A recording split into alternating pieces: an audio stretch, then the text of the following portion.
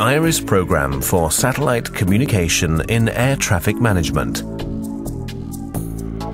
Over the last decade, the aviation sector has seen tremendous growth, making Europe the densest air traffic space in the world. As a result, we often experience delays and cancellations due to the saturated air traffic around main hubs such as Frankfurt, Paris and London.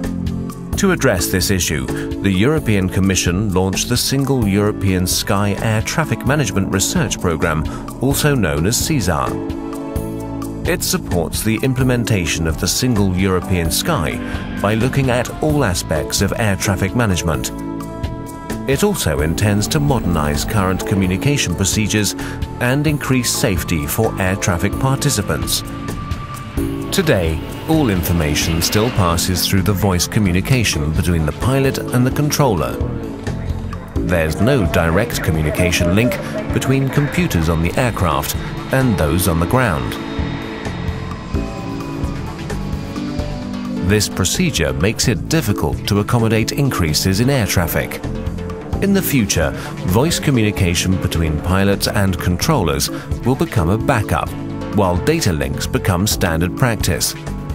This will enable the aircraft and the ground to communicate more effectively, increasing the efficiency of common aviation procedures.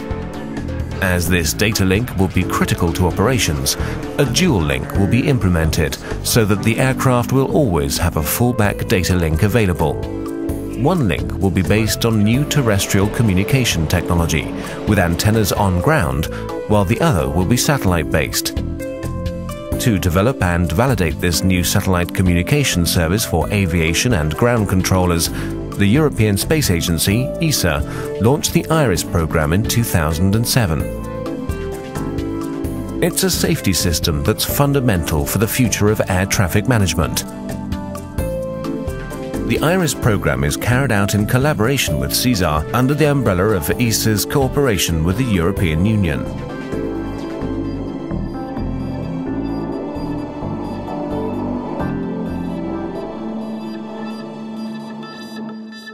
In practice, airborne crews will send digital data via their built-in cockpit terminals. This data will then be immediately relayed via satellites placed in geostationary orbit and will reach flight control facilities across Europe. Using this system will be transparent to the pilot and the controller, who will continue to use their existing communication terminals. The system will be designed to ensure low costs for equipping the aircraft and handling communications. The development of this end-to-end -end communication system implies two parallel technical developments. One, a new global standard for satellite communication, which will have to be adopted at worldwide level and will guarantee that any aircraft equipped with a standardized radio will be able to communicate anywhere via compatible satellite systems. 2. A European satellite infrastructure, which will enable the provision of this service in Europe.